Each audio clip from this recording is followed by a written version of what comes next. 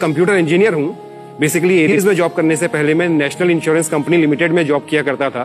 वो देहरादून में मेरी पोस्टिंग थी। उसी दौरान मैं दिवाली की छुट्टियों पर घर आया हुआ था। तो लकीली एरीज से मेरा एडमिट कार्ड आ गया कि आपकी परीक्षा है। किस्मत अच्छी थी कि लिखित परीक्षा में मेरा चयन हो गया। और उसके बाद इंटरव्यू के लिए मुझे बुलाया गया। जी, तो जी। प्रोफेसर राम सागर वो मुझसे बोले बोले मोहित जी आपको अगर ये जॉब दिया जाए करोगे कि नहीं करोगे? मैंने पूछा, सर, आप क्यों पूछ रहे हैं मुझे ऐसा? तो उनका कहना था कि आप ऑलरेडी एक अच्छी जॉब में हैं सेटल हैं, अच्छे शहर में, मैं देहरादून में था, अच्छे शहर में है, सारी फैसिलिटीज़ आपको वहाँ पे मिलती हैं। तो इरीज जो है वो एक रिमोट प्लेस है, यहाँ पे ऐसी फैसिलिटी कुछ है नहीं, और ज़िम्मेदारी बहुत बड़ी है। तो मैंने, सर, उस दिन खुल के बोला उनको कि, सर आने वाला समय जो है साइंस के क्षेत्र में एस्ट्रोनॉमी के क्षेत्र में वो एरीज का है और मेरे लिए इससे बड़ी खुशी की बात कोई हो ही नहीं सकती कि मैं इसका एक हिस्सा बनूं। मैं अपना इसमें योगदान दूँ। क्या बात। और सर मैं ये बताना चाहता हूँ आपको ये दूरबीन उस समय लगी नहीं थी। तो उस साइट का ये देवसल साइट का जो आपने अभी चित्र देखा पूरा का पूरा। जहाँ पे टेलीस्कोप लगा हुआ है उस साइट का सर मुझे इंचार्ज बनाया गया। उस समय पे ये साइट बेहद लिमिटेड फैसिलिटी सड़क का बिल्कुल अभाव बिजली पानी बिल्कुल मिनिमम अगर एक बार बिजली चली जाए तीन दिन तक नहीं आएगी। तो मुझे सबसे पहले ये ज़िम्मेदारी दी गई कि आप इस साइट को विकसित करिए और इसको दुनिया को दिखाइए। और दुनिया को दिखाने का सबसे बड़ा तरीका क्या है? इंटरनेट। अब सर जहाँ बिजली नहीं है पानी नहीं है वहाँ पहले हमने वो सारी सुविधाएँ एक एक करके जोड़ी। उसके बाद इंटरनेट के माध्यम से इसको जोड़ा गया। फिर धीरे धीरे धीरे धीरे उत्तरोत्तर इसका विकास हुआ। कई सालों के प्रयास के बाद सन 2016 में ये दूरबीन मोदी जी द्वारा बेल्जियम से टेक्निकली रिमोटली इनोग्रेट की गई। रिमोटली जी बेल्जियम से सर यूरोप से।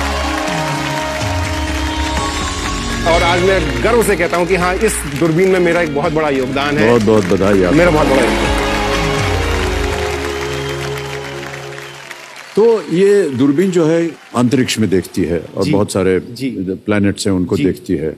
कुछ तस्वीरें हमने देखी अभी। जी, ये ये मान लीजिए ये चित्र जो जी जी जी। ये क्या है?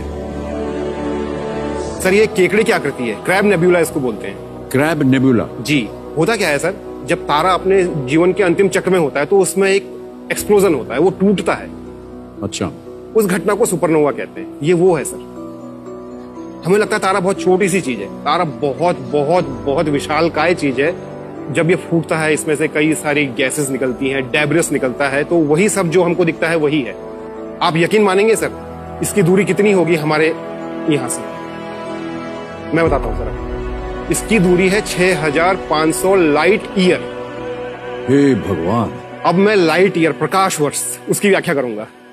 लाइट की जो स्पीड है जैसे हमारी गाड़ी की स्पीड होती है 60 किलोमीटर घंटा वैसे लाइट की स्पीड होती है तीन लाख किलोमीटर पर सेकेंड तीन लाख किलोमीटर पर सेकेंड जी उसको आप गुणा साठ कीजिए क्योंकि मिनट बनेगा। तो एक मिनट में चलेगा तीन लाख गुणा साठ किलोमीटर। उसको आप मिनट को घंटे में लाइए।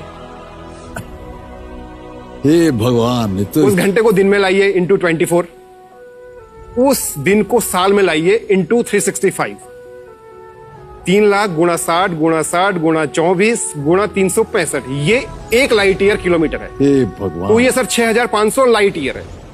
तो आप सोचिए कितनी दूर है। और ये आपके टेलीस्कोप ने देखा है। जी। ये ये तो ये ये तो सैटर्न है। ये जो तस्वीर देख रहे हैं। ये सर टेलीस्कोप का रॉ इमेज है। सैटर्न को हर लोगों ने अलग अलग तरीके से परिभाषित किया है बट जो टेलीस्कोप से दिखता है वो ये दिखता है सर। जहाँ तक हमारी जानकारी है इसमें केवल गैसेस होती हैं जी सर ये गैस जाइंट है। ये जो भी होता है ना सर ये गैस होती है डस्ट पार्टिकल होते हैं ये वही सब होता है। और जब लाइट रिफ्लेक्ट होती है तो ये चमकते हैं। और ये शनि ग्रह जो है सर ये सौर मंडल का छठा ग्रह है। हाँ। जी। बेहद खूबसूरत। अरे एक एक और आ गया देखिए। इसकी तो एक पूछ भी है। जी।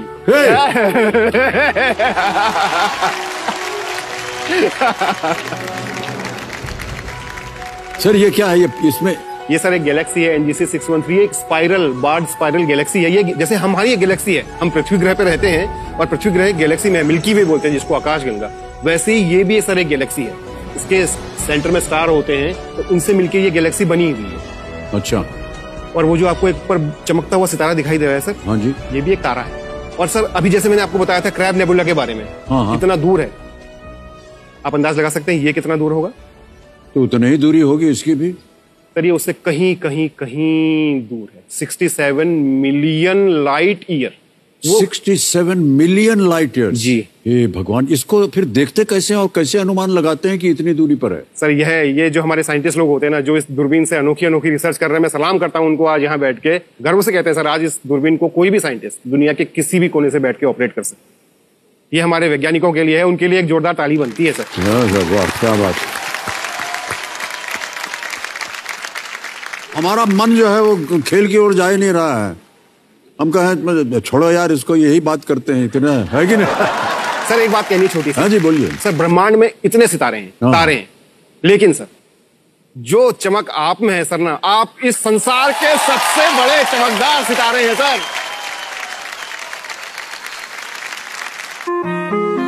मैं उत्तराखंड राज्य के नैनीताल ज़िले में एक छोटे से हिल स्टेशन रामगढ़ का रहने वाला हूँ। पहाड़ों में सबसे बड़ी बात जो है यहाँ की शांति। है और दूसरी बात यहाँ का स्वास्थ्य। बचपन से ही ये पहाड़ों पे ही रहे हुए हैं। फैमिली हमारी बहुत हैप्पी है। ये केयरिंग लविंग बढ़िया इंसान है बहुत। हमारे जीवन का सबसे बड़ा धन अगर मैं कहूँ तो वो हमारा बेटा है। हम उसके साथ क्रिकेट खेलते हैं उसके साथ घूमने फिरने जाते हैं। जब वो साइकिलिंग कर रहा होता है तो उसके पीछे पीछे दौड़ लगाते हैं। मोहित जी को पहाड़ों से बहुत प्रेम है। इसीलिए इन्होंने क्या करा जॉब भी होम टाउन के पास ही ली है।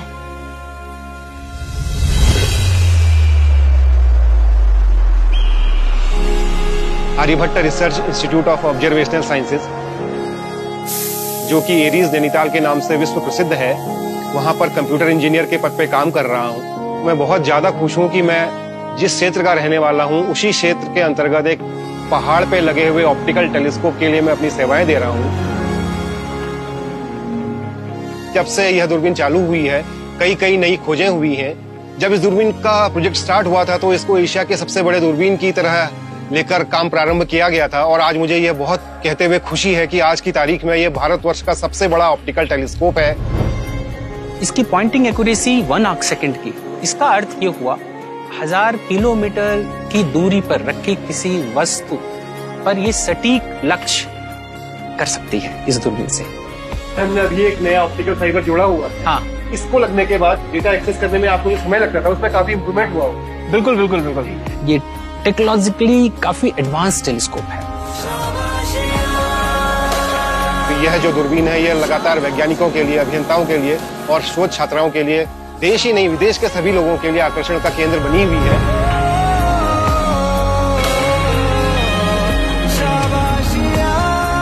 ये अपनी क्लास की एक वर्ल्ड क्लास टेलीस्कोप है और जो ये साइट है ये इसको और भी अधिक खूबी प्रदान करती है।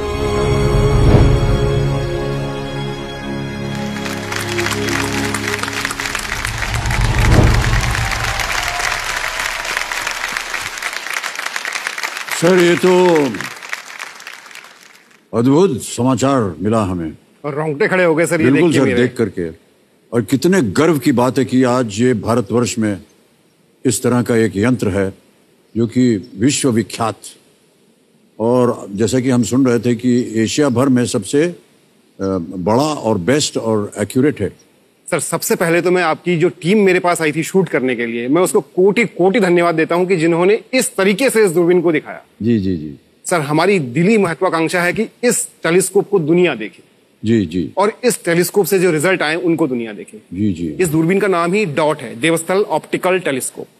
India's largest telescope.